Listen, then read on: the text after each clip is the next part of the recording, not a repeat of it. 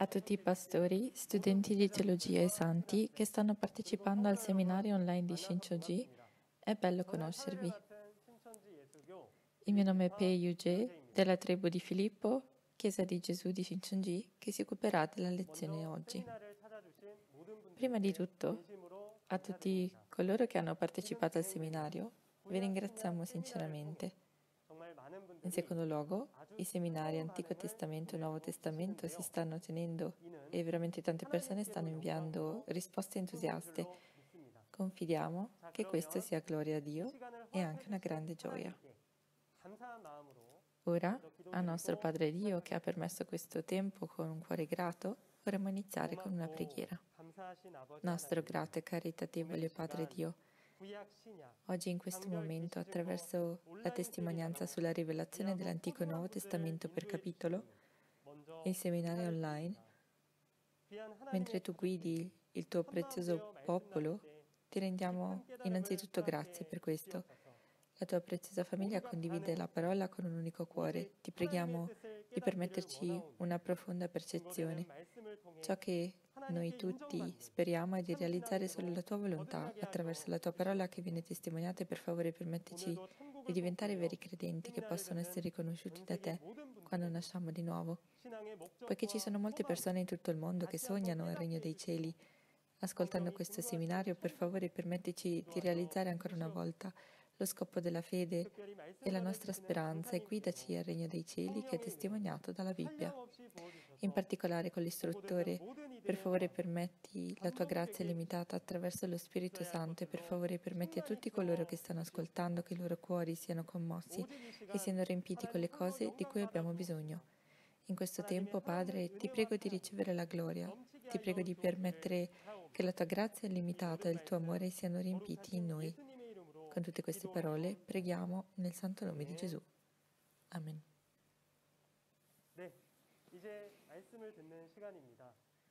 Ora è il momento di ascoltare la parola. Continuando dalla lezione 5 della volta scorsa, oggi ci sarà la lezione 6 dell'istruzione di livello intermedio, il pastore promesso dell'Antico Testamento e Nuovo Testamento. Oggi, mentre ancora una volta ci addentriamo nella Bibbia, Antico Testamento e Nuovo Testamento, rendiamoci conto del vero significato dei 66 libri della Bibbia e della sua realtà fisica e riceviamo molta grazia. Ora saluteremo l'istruttore della tribù di Filippo che insegnerà la preziosa parola oggi. A tutti i pastori, studenti di teologia e santi di tutto il mondo che hanno speranza nel regno dei cieli e nella vita eterna, è bello incontrarvi. Il mio nome è Oje Jun, sono il capo istruttore della chiesa di Chongyu della tribù di Filippo di Shincheonji, chiesa di Gesù. A tutti i partecipanti del seminario online di Shincheonji, testimonianza sulla rivelazione dell'Antico e Nuovo Testamento per capitolo, vi ringraziamo sinceramente.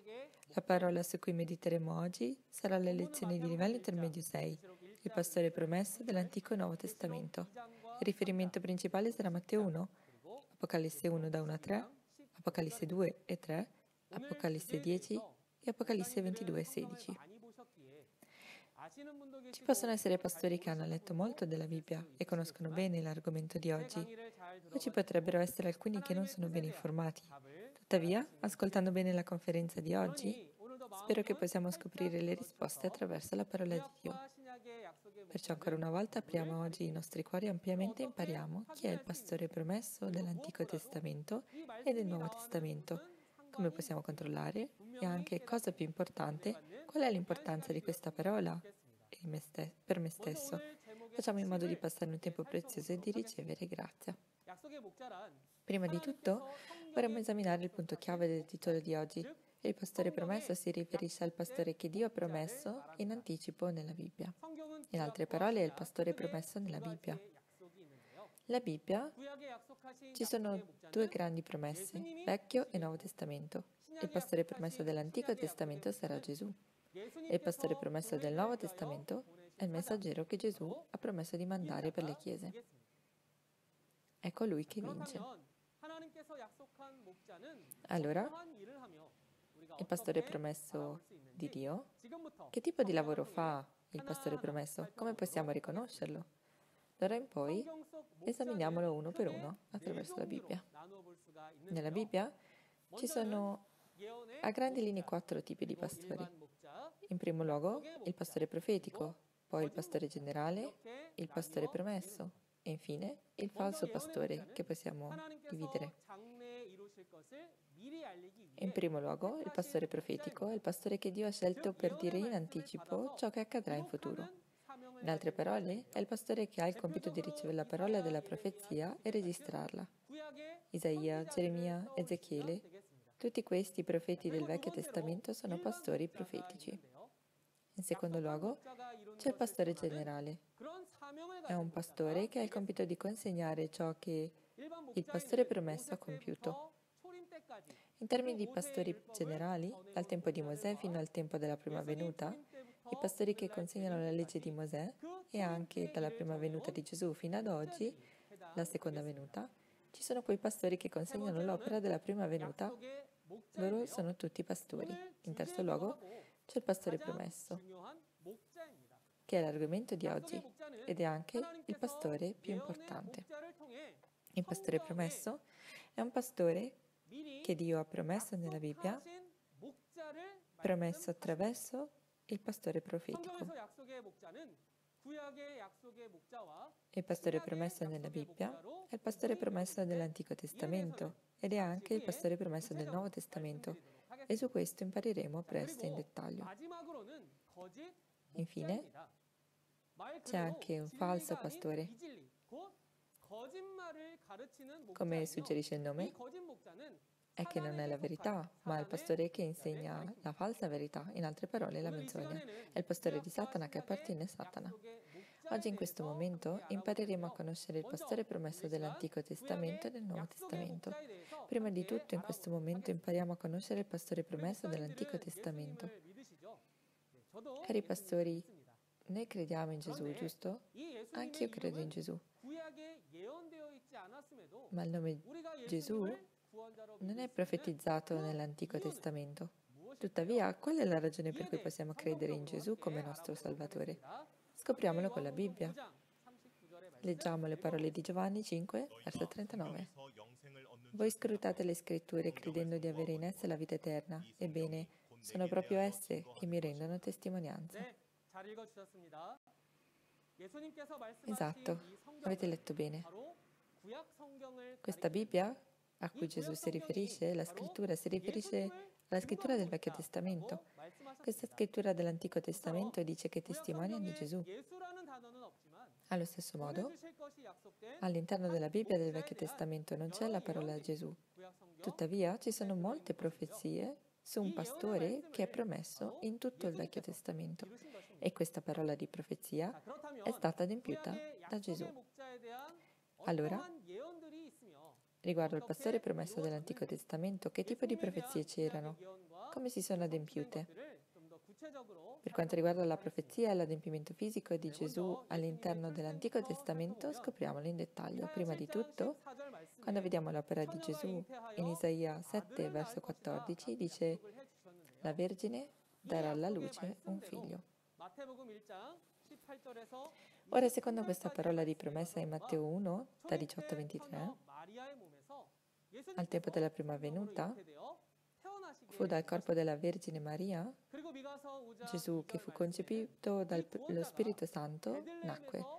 E anche in Michea 5, verso 2, questo Salvatore che nascerà a Betlemme era già stato promesso. E al tempo in cui nacque Gesù, l'imperatore romano ordinò un censimento per il quale Giuseppe e Maria, che vivevano in Galilea e Nazareth, dovettero andare fino a Betlemme. Come vediamo nelle parole di Matteo 2, come sappiamo molto bene, Gesù nacque a Betlemme. E così si adempì questa parola di profezia. I magi dall'Oriente portarono tesori, incenso e mirra e vennero a visitare Gesù a Betlemme. E anche in Osea 11, verso 1, si dice che chiamerò mio figlio dall'Egitto Secondo questa profezia, e per realizzarla, il fatto che sia nato un re di Israele è stato proclamato dai magi dall'est Erode che ha sentito questo, ha ordinato che tutti i bambini maschi sotto due anni fossero uccisi a Betlemme e Giuseppe e Maria, che sono fuggiti per sfuggire a questa uccisione, in questo modo la profezia che il figlio sarebbe uscito dall'Egitto si è avverata. Questo è scritto bene in Matteo 2, 2 verso 15. E anche nell'Antico Testamento, Zaccaria 9, verso 9, si profetizza che Gesù entrò a Gerusalemme. Secondo Matteo 21, Gesù cavalcò sul puledro di un'asina e entrò nel Tempio di Gerusalemme perché non era un grande asino, ma un puledro d'asina dall'aspetto inutile, un asinello. Perché Gesù entrò a Gerusalemme in quel modo? Può sembrare strano, tuttavia tutte queste cose erano un processo che adempiva le profezie promesse nell'Antico Testamento. Non solo, Dio ha profetizzato attraverso il profeta Geremia la creazione di una cosa nuova. Per adempiere questo, Dio profetizzò in Geremia 31 di spargere il seme e Gesù spargerà il seme della parola di Dio in Matteo 13. Ora attraverso questo capiamo che quello era un mondo corrotto, Israele fisico che è tutto finito, e attraverso il seme della parola di Dio è iniziata la creazione del mondo dell'Israele spirituale.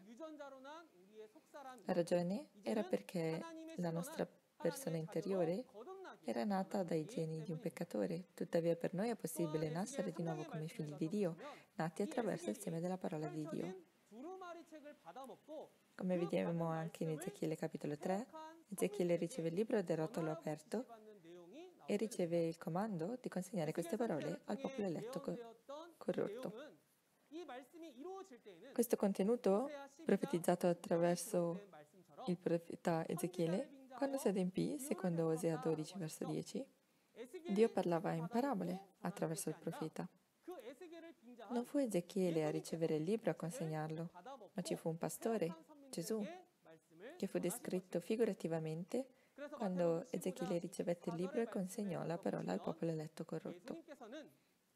Come vediamo in Matteo 15, verso 24, secondo la profezia di Ezechiele, Gesù ricevette la parola rivelata da Dio e consegnò quelle parole alle pecore perdute del popolo di Dio. In altre parole, il popolo eletto corrotto, e con ciò si adempirono le parole di Ezechiele capitolo 3. Inoltre, come vediamo in Geremia 31, da 31 a 32, si profetizza di stabilire una nuova alleanza. Il popolo di Israele non credette a Gesù che venne secondo l'alleanza di Dio nell'Antico Testamento. Poiché essi peccarono, Gesù, secondo quanto è registrato in Luca 22, da 14 a 20, nella notte della Pasqua, attraverso il sangue di Gesù, Gesù fece una nuova alleanza. Per mezzo di questo, ciò che era stato promesso a Geremia, la parola della profezia di fare una nuova alleanza, si è adempiuta. Questa nuova alleanza si riferisce al Nuovo Testamento e tra le parole del Nuovo Testamento, la parola che oggi i credenti devono conoscere è la parola di profezia che promette sugli eventi futuri, è il libro dell'Apocalisse. Anche la prima alleanza, l'Antico Testamento, si è adempiuta secondo le parole della profezia. Allo stesso modo, questo nuovo patto, il Nuovo Testamento, il libro dell'Apocalisse, sarà certamente tutto adempiuto. Spero che i nostri credenti lo ricordino tutti e anche come Gesù, a nome dei nostri peccati, ha portato la croce a causa del peccato e attraverso il sangue ha fatto un nuovo patto e se ne andò. Quando Gesù era sulla croce, in Matteo 27, verso 35, come i vestiti di Gesù furono divisi, tirando a sorte, tutto questo si è adempiuto anche secondo ciò che è stato registrato in Salmi 22, verso 18. Allo stesso modo, Dio attraverso Isaia, Geremia, Osea, attraverso questi profeti dell'Antico Testamento, registrò queste parole di profezia e quando venne il tempo, il tempo della prima venuta, Dio venne a Gesù e adempì tutte quelle parole nel Vangelo di Giovanni 1, verso 32. quando lo Spirito Santo scese su Gesù come una colomba. Proprio come quelle parole, Dio venne a Gesù e adempì tutte le parole delle profezie che erano state promesse. Leggiamo tutti insieme in Giovanni 19, verso 30. Quando Gesù ebbe preso l'aceto, disse, è compiuto, e chinato il capo, resi lo spirito. Grazie per aver letto. Come Gesù poco prima di morire sulla croce ha detto è finito. Allora cos'è che è finito del tutto? Sono tutte le profezie dell'Antico Testamento. Sono state tutte adempiute. Ecco cosa che intendeva. Come noi riconosciamo come il pastore promesso dall'Antico Testamento è Gesù, la ragione per cui possiamo farlo è perché Gesù ha adempiuto tutte le profezie delle promesse nell'Antico Testamento. Quindi quel Gesù nel Nuovo Testamento ci ha dato una nuova promessa, una nuova alleanza. Oggi è il tempo non del compimento dell'Antico Testamento, ma il compimento del Nuovo Testamento.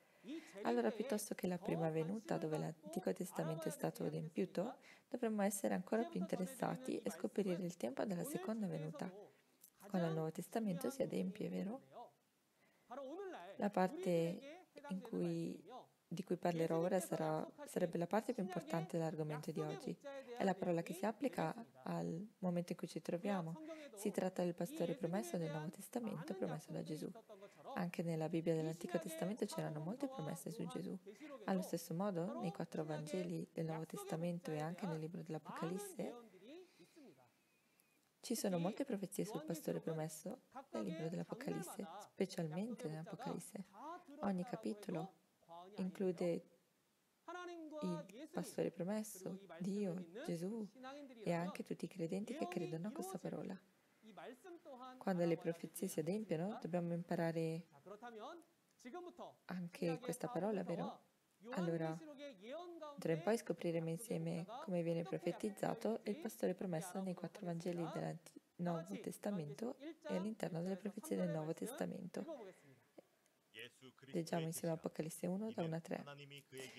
Rivelazione di Gesù Cristo che Dio gli diede per mostrare ai suoi servi le cose che devono avvenire tra breve e che egli ha fatto conoscere mandando il suo angelo al servo Giovanni Egli ha attestato come parola di Dio e testimonianza di Gesù Cristo tutto ciò che ha visto.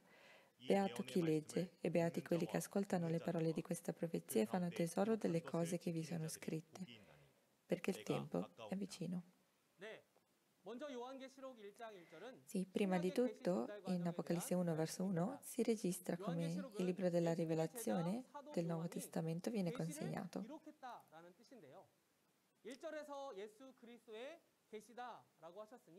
Il discepolo di Gesù, l'Apostolo Giovanni, ha registrato questa rivelazione. In Apocalisse 1, verso 1 dice rivelazione di Gesù Cristo.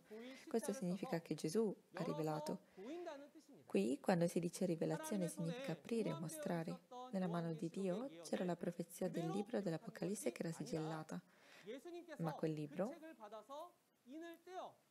Gesù lo riceve e apre i sigilli e realizza questo, quindi non è più un rotolo sigillato, ma diventa un libro aperto. E Giovanni registrò questo libro aperto, che vide, che è il libro della rivelazione che Gesù aprì e adempì. Ecco perché è una rivelazione che Giovanni ha registrato.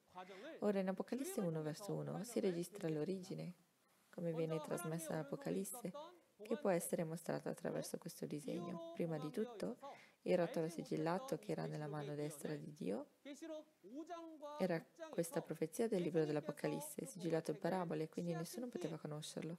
Tuttavia Gesù prese quel rotolo sigillato in Apocalisse 5-6, lo aprì e lo adempì.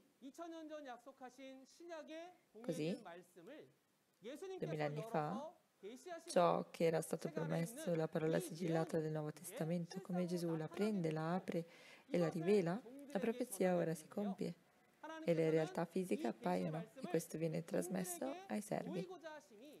E Dio ha voluto mostrare questo compimento ai servi, che è la parola rivelata.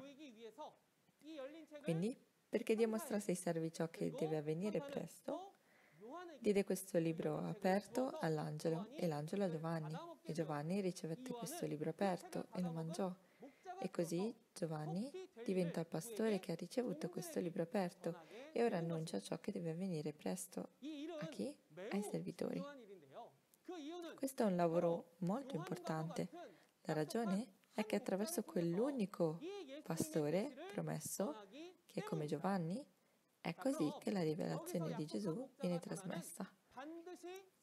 Allora, cos'è ciò che deve avvenire presto, che il pastore promesso annuncerà? Ciò che deve avvenire presto si riferisce agli eventi di tutti i capitoli del libro dell'Apocalisse. Dice che ciò che deve avvenire presto deve essere mostrato ai servitori. Chi sarà il suo servo? Come vediamo in Apocalisse 7 ci sono 12.000 in 12 tribù e quindi queste 12 tribù diventano sigillate. In Apocalisse 7 verso 4 si riferisce a loro come i servi. Quindi colui che suggella, colui che riceve il suggellamento, appartengono tutti alle 12 tribù, diventano tutti servi di Dio.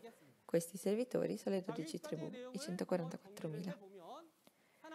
Ora se riassumiamo quanto detto finora, Dio ha voluto mostrare ciò che deve avvenire presto, in altre parole, gli eventi di tutti i capitoli dell'Apocalisse da mostrare ai servi. Era ordine di Dio e così, secondo questo comando, Giovanni attraverso l'angelo consegnò tutto. Allora ciò che è importante qui, in questo momento del compimento dell'Apocalisse, è Giovanni che riceve questa parola rivelata e la trasmette. Non si riferisce all'Apostolo di Giovanni, Giovanni di duemila anni fa, Osea 12, verso 10 dice Dio ha parlato in parabole attraverso i profeti. Allo stesso modo l'Apostolo Giovanni di duemila anni fa è usato figurativamente per descrivere il pastore promesso della Bibbia nel Nuovo Testamento, che è il Nuovo Giovanni. Il Nuovo Giovanni sarà un nome che possiamo usare per chiamare il pastore promesso nel Nuovo Testamento.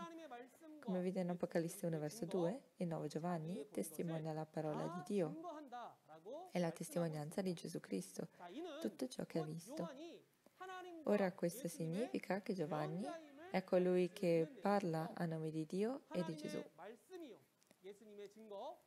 La parola di Dio è la testimonianza di Gesù, in altre parole, tutto ciò che ha visto diventa testimonianza senza aggiungere o sottrarre. Questo nuovo Giovanni è promesso nella Bibbia del Nuovo Testamento. Inoltre, come vediamo nel versetto 3, beato chi legge le parole di questa profezia, beati coloro che l'ascoltano e prendono a cuore ciò che vi è scritto. Le parole dell'Apocalisse nel Nuovo Testamento sono state sigillate attraverso sette sigilli e parabole per duemila anni. Nessuno in cielo o in terra era in grado di conoscere il vero significato. Tuttavia la parola della profezia dell'Apocalisse ora può essere letta da qualcuno. Questo non significa semplicemente leggere un libro, significa che c'è una persona che conosce il suo significato. In altre parole, colui che padroneggia le parole dell'Apocalisse. E il suo compimento fisico sarebbe il nuovo Giovanni, che ha ricevuto la parola rivelata nel Nuovo Testamento da Gesù. Attraverso questo nuovo Giovanni, il popolo è in grado di ricevere la testimonianza di questa parola.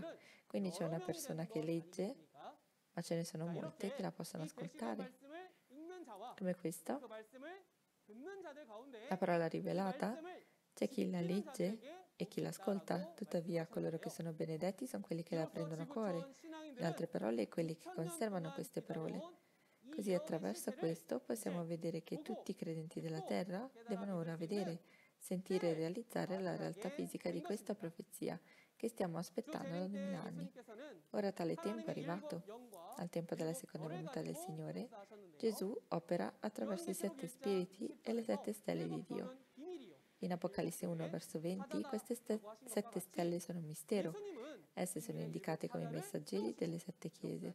Allo stesso modo Gesù nomina i sette messaggeri, che sono un mistero, e così inizia la sua opera. Sono i messaggeri che preparano la via per il Signore al tempo della seconda venuta. Ma come vediamo in Apocalisse 2 e 3, all'interno del tabernacolo questi sette messaggeri ci sono i Nicolaiti, il gruppo di Satana che entra nel cielo e i sette messaggeri che Gesù ha nominato diventano uno con i Nicolaiti e commettono peccato. In questo tempo Gesù sceglie una persona. Quest'unica persona è quella che Gesù seleziona e con la sua mano destra nomina. Da Apocalisse 1, verso 10 in poi, il pastore promesso è il pastore promesso del Nuovo Testamento. Gesù a questo unico pastore mostra tutto il contenuto dell'Apocalisse 2 e 3 e i suoi misteri e gli ordina, ordina anche di inviare le lettere di pentimento ai sette messaggeri. E questi misteri non sono insegnati a nessun altro, ma solo a quest'unica persona, a cui si riferisce come Giovanni. Inoltre non si tratta solo di pentirsi, ma anche di combattere e vincere il nemico, i Nicolaiti. La ragione è perché questi sette messaggeri ascoltano le parole dei nemici, i Nicolaiti, ricevono cibo sacrificato agli idoli e i suoi insegnamenti e commettono immoralità sessuale con Satana. Quindi dire ai messaggi- sette messaggeri di pentirsi e combattere e vincere la guerra contro i Nicolai- Nicolaiti è stato fatto.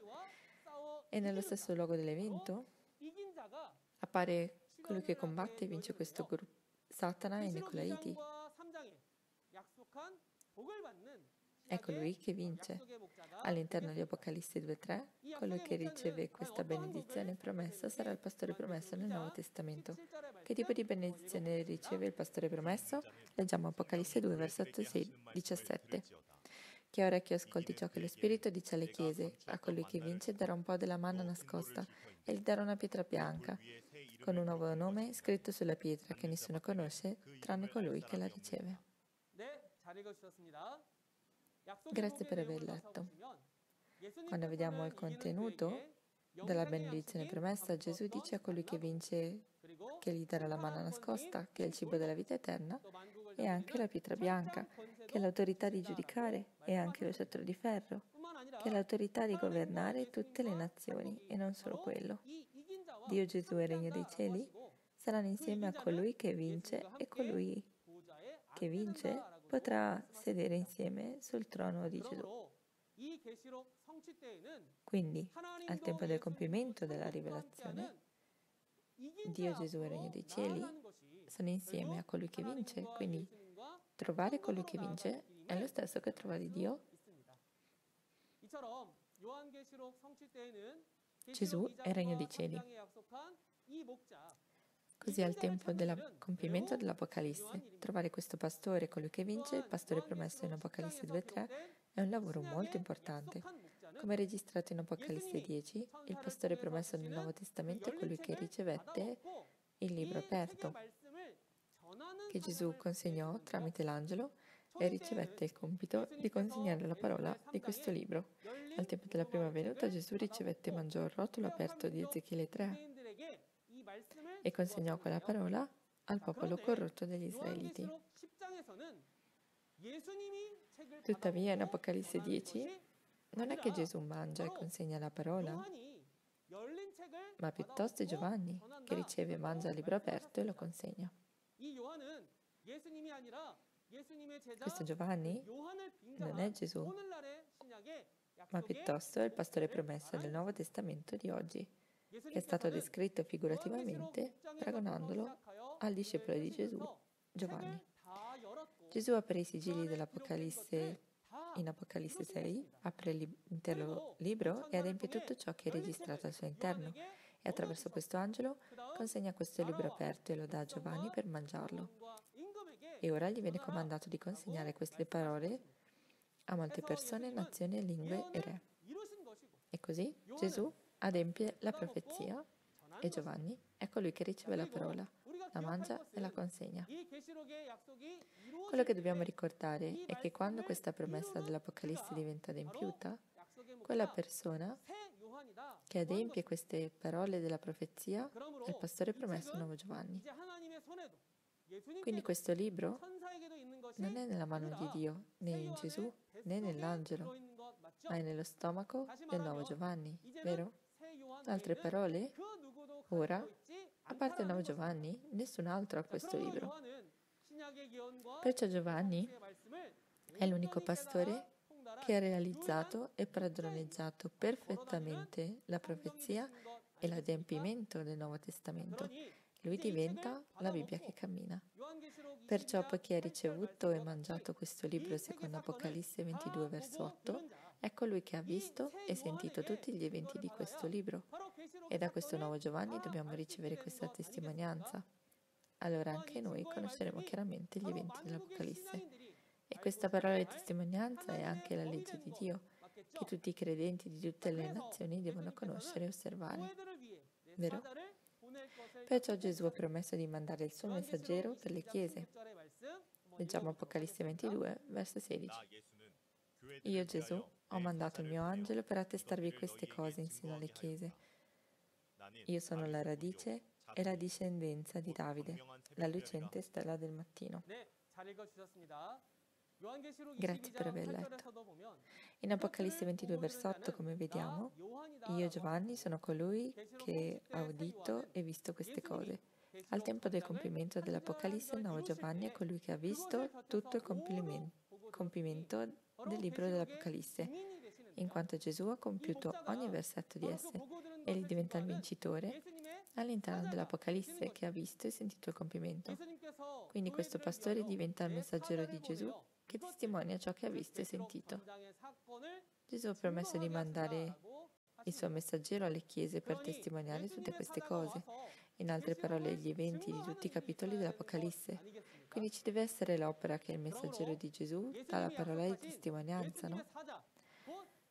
Quindi il messaggero di Gesù che Gesù ha promesso, in altre parole pastore promesso, è colui che ha mangiato il libro aperto in Apocalisse 10 ed è colui che ha visto tutto il suo compimento nel luogo del compimento. Perciò egli è in grado di testimoniare le profezie dei quattro Vangeli e del libro dell'Apocalisse e anche l'adempimento fisico.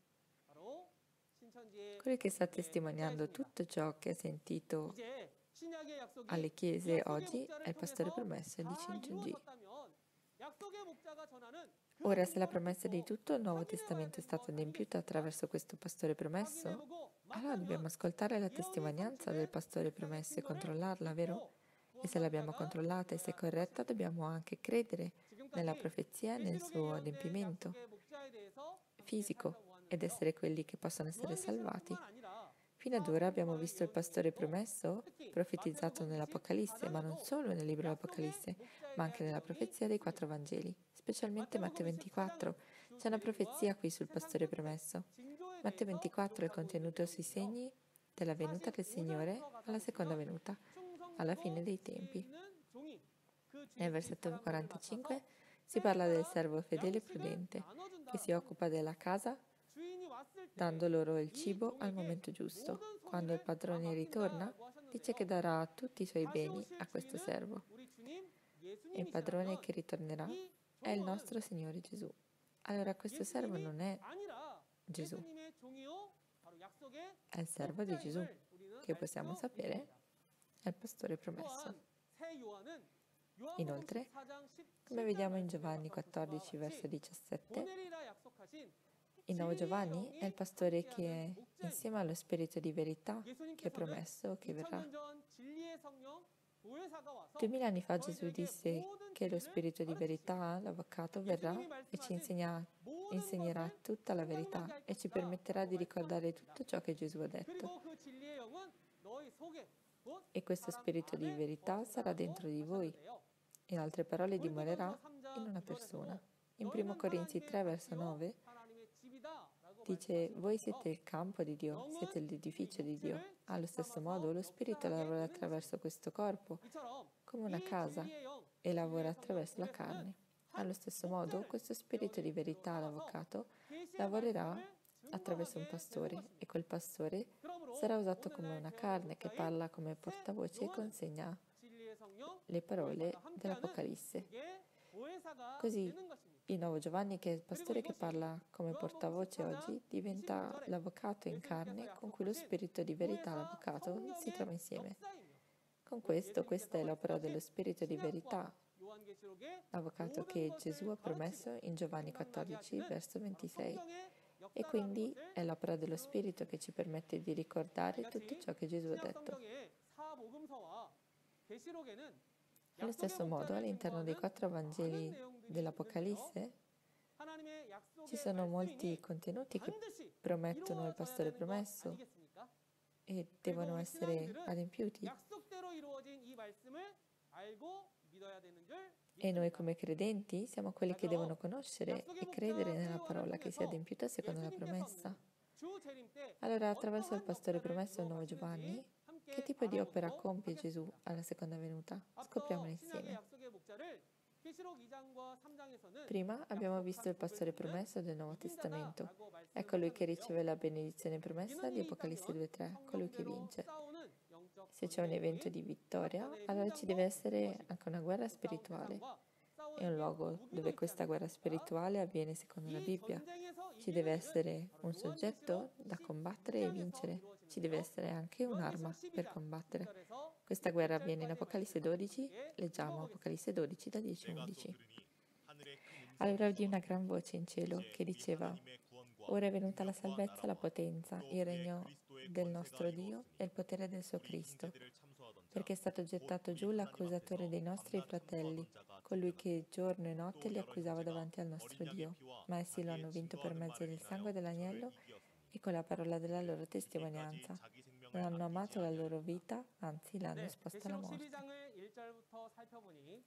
Come abbiamo visto in Apocalisse 12, a partire dal versetto 1, c'è un segno in cielo. C'è una donna vestita con il sole, la luna e le stelle che è incinta di un bambino. Qui il cielo e il sole, la luna e le stelle sono una parabola che descrive in modo figurato le cose della natura. In Genesi 37 il tabernacolo di Giacobbe e la sua famiglia erano descritti figurativamente come il cielo, e le stelle. Quindi il cielo si riferisce al tabernacolo del popolo eletto e il sole, la luna e le stelle si riferiscono al popolo eletto. E anche questo luogo è il tabernacolo dei sette candelabri d'oro in Apocalisse 3, il tabernacolo del cielo in Apocalisse capitolo 13. È così che in Apocalisse 12, insieme ai suoi fratelli, combatte e vince il gruppo del drago, la bestia con sette teste e dieci corna. In questo tabernacolo del cielo, superando e combattendo con il sangue dell'agnello e la parola della loro testimonianza. Questa, parola, questa guerra è una guerra spirituale, combattendo con la parola. È il gruppo di Dio e il gruppo di Satana che combattono attraverso la parola e le testimonianze e c'è la vittoria del bambino. In Apocalisse 12 c'è colui che vince, combattendo e superando il gruppo del drago, e finalmente c'è il regno di Dio, la potenza e la salvezza. Per coloro, tramite coloro che sono vittoriosi in Apocalisse 12, in Apocalisse 15 Dio li usa come coppie dell'ira. Sono quelli che hanno visto tutto nel luogo dove è avvenuto il tradimento e la distruzione. Sono i testimoni. Sono quelli che hanno combattuto e vinto il gruppo del drago di Satana. Per questo possono essere usati come le coppe che contengono l'ira di Dio. In Apocalisse 16, al traditore e al distruttore che ha ingannato tutte le nazioni, vengono versate le coppe dell'ira e con ciò il traditore e il distruttore vengono giudicati. In Apocalisse 18 è Babilonia la casa dei demoni che viene giudicata. Con ciò le persone che sono state catturate all'interno di tutte le nazioni, che sono state ingannate, possono finalmente uscire dalla, alla nazione insieme a cui Dio si trova, il Tempio del Tabernacolo, la testimonianza. Alla seconda venuta, come si crea il nuovo regno di Dio e il nuovo popolo, cioè il luogo della salvezza? Gesù ritorna nel tempo del compimento dell'Apocalisse, diventa uno con il pastore della promessa e prima raccoglie i frutti che sono nati attraverso il seme che è nato al tempo della prima venuta. Secondo la promessa di Apocalisse 14, coloro che sono nati dal seme di Dio vengono raccolti. E secondo le parole di Apocalisse 7, vengono sigillati con la parola rivelata e in seguito vengono create le dodici tribù. Queste dodici tribù sono il regno e i sacerdoti di Dio che sono stati acquistati dal sangue di Gesù. In altre parole, le dodici tribù sigillate, 144.000. E dopo che 144.000 sono sigillati, c'è la grande moltitudine che esce da una grande tribolazione, che diventa il popolo che ha lavato i suoi peccati con il sangue di Gesù. Questo regno di Dio, creato al tempo della seconda venuta. Essi sono quelli che quando nell'era precedente ha peccato, proprio come al tempo di Noè e al tempo di Lot, e finisce, sono il nuovo regno e la nuova gente. Questo diventa il luogo dove Dio e il regno dei cieli scende e diventa uno. Trovare il luogo dove si trovano colui che vince, il pastore promesso di cui parla attraverso la Bibbia, e questo regno dei cieli, le dodici tribù, diventa il modo per raggiungere l'espiazione del peccato al momento della seconda venuta ed essere condotta alla salvezza nel regno dei cieli. A tutti gli amati membri della famiglia, oggi, secondo le profezie di Apocalisse 14 e 7, mantenendo le parole promesse nella Bibbia e raccogliendo coloro che sono nati dal seme di Dio e dando esami sulla Bibbia attraverso il sigillo con la parola rivelata e creando le dodici tribù secondo le promesse di Apocalisse, c'è un tale luogo che, che è stato creato. Quel posto è la chiesa di Gesù di Cinciongi, dove si trova il pastore di promesso oggi. Attraverso la promessa del Nuovo Testamento, oggi Cinciongi sta facendo il lavoro di raccolta di coloro che sono, stati, che sono nati dal seme di Dio. E anche sigillando con questa parola ha creato le dodici tribù. Allora devo controllare se sono stato raccolto o no. Sono stato sigillato con la parola? Appartengo alle dodici tribù o no? Dobbiamo pensare, secondo la Bibbia, essere raccolti e sigillati, appartenere alle dodici tribù, al regno di Dio, alla famiglia di Dio. Spero che tutti possiamo ricevere la benedizione del regno dei cieli e della vita eterna. Leggiamo tutti Apocalisse 21, verso 6. Ogni cosa è compiuta, io sono l'alfa e l'omega, il principio e la fine. A chi ha sete io darò gratuitamente della fonte dell'acqua della vita. Grazie per aver letto. Gesù ha parlato così di un pastore all'interno dei quattro Vangeli e dell'Apocalisse.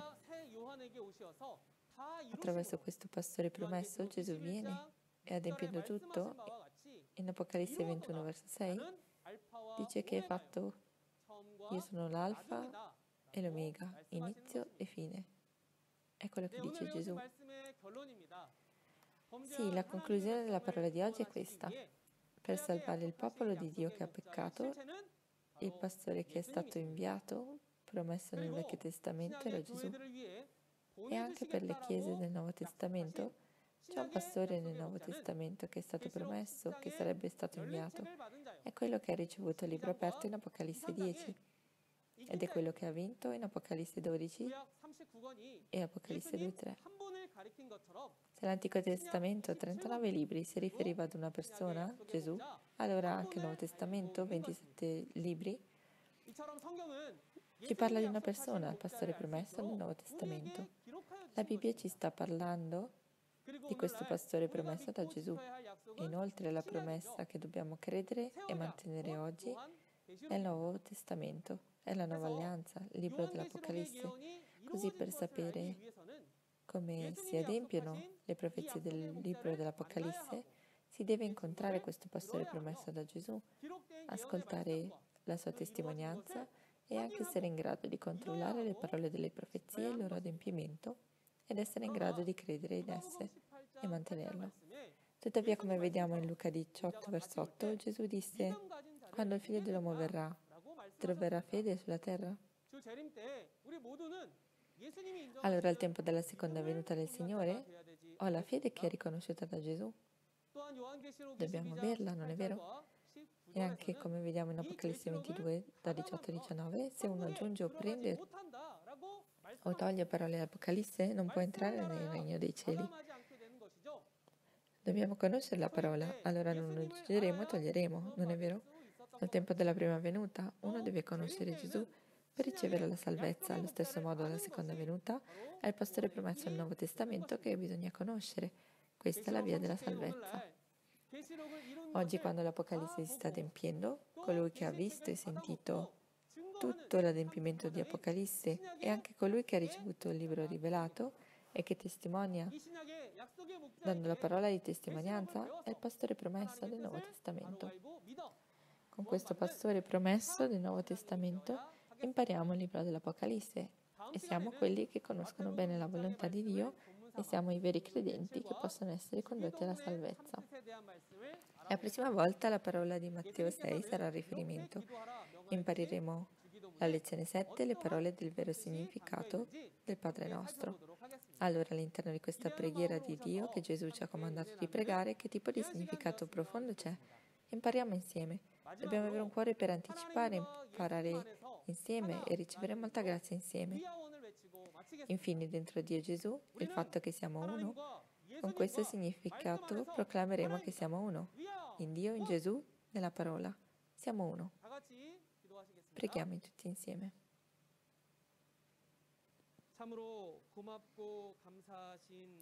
Al nostro Padre Dio, veramente pieno di grazia, ti ringraziamo veramente tutti per la tua grande grazia e amore specialmente perché hai aperto il seminario online a tutti i pastori, a tutti gli studenti e a tutti i santi del mondo, perché permetti che la parola rivelata, testimoniata chiaramente, sia ascoltata e ci permetti di essere uno con la parola. Noi ti ringraziamo veramente per questa grazia. Ti preghiamo di permettere a tutti i partecipanti al seminario di avere un cuore aperto e di ricevere questa parola, che tu consegni sui nostri cuori e permetti la grazia di realizzare la parola. Per favore permettici di diventare uno nella parola e per favore permetti che la tua volontà si compia su questa terra anche un giorno prima e anche durante al seminario che si terrà in futuro. Per favore apri il loro ambiente in modo che molte persone possano partecipare. Per favore guidali alla parola, attraverso la parola. Permetti ai loro occhi, orecchi e cuori per realizzare e trovare il pastore promesso nel Nuovo Testamento, permettendoci di diventare uno con Lui e diventare uno con la verità. Tutte queste parole noi preghiamo nel nome di Gesù Cristo. Amen. Vi ringraziamo molto per aver ascoltato fino alla fine.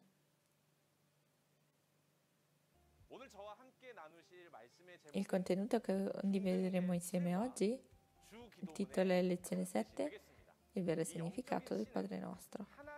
Il seme spirituale, cioè il seme di Dio, ma al contrario c'è anche il seme del diavolo. In base a questi due tipi di semi, il risultato diventa veramente diverso. Venga al tuo regno, lo scopriremo. È un contenuto molto importante. Dov'è il regno che scenderà? Quando e dove verrà? Dobbiamo saperlo. Come abbiamo visto nel video, nel prossimo giovedì ci sarà la lezione 7 di livello intermedio, il vero significato del Padre nostro. L'orario sarà lo stesso di oggi alle 10. Vi prego di partecipare e spero che tutti possano comprendere la preziosa parola della vita, a testimonianza della rivelazione dei pacchettoli dei capitoli del Vecchio Testamento e Nuovo Testamento nel seminario online di Shincheonji viene trasmessa in tutto il mondo attraverso il canale ufficiale di YouTube della Chiesa di Gesù di Shincheonji. A tutte le persone che sono assetate della parola di Dio, queste parole sono consegnate. Se avete domande o qualche curiosità su Shincheonji e sulla parola, per favore chiamate questi numeri sullo schermo. Saremo lieti di guidarvi gentilmente. Ora con la preghiera del Signore Completeremo tutti gli ordini del seminario online di Shinchunji. Padre nostro che sei nei cieli, sia santificato il tuo nome, venga il tuo regno, sia fatta la tua volontà, come in cielo così in terra. Dacci oggi il nostro pane quotidiano e rimetti a noi i nostri debiti, come noi li rimettiamo ai nostri debitori e non ci indurre in tentazione, ma liberaci dal male, perché tu hai il regno, il potere e la gloria, nei secoli. Amen. 함께 해주신 여러분 감사합니다. A tutti coloro che erano con noi oggi, grazie mille.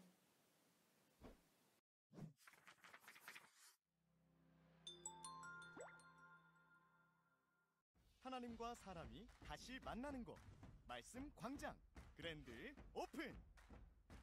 먼저 이제 막 신앙을 시작한 분들을 위한 다양한 안성맞춤 영상들